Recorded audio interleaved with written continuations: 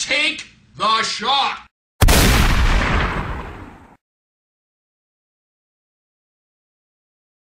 Hey folks, rolling here with another episode of Hot Shots. Returning guest, Jess. Hello. Today's suggestion: Cajun Chef Louisiana Green Hot Sauce. Uh, well, what am I necking for? Come on, let's do this. Sounds good. Ever since Leonard set the standard for the episodes being super fast now, God damn it, I don't get a time to take it too long to get on the damn chip. Oh, it's green like snot. Well, at least it doesn't have the same consistency as snot. It smells like Texas Pete's. Down the hatch for science.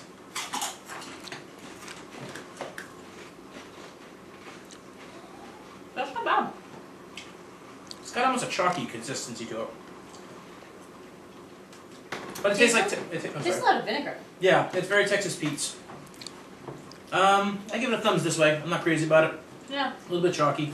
Anyways, thank you for coming on. You're welcome. We will see you next episode, folks.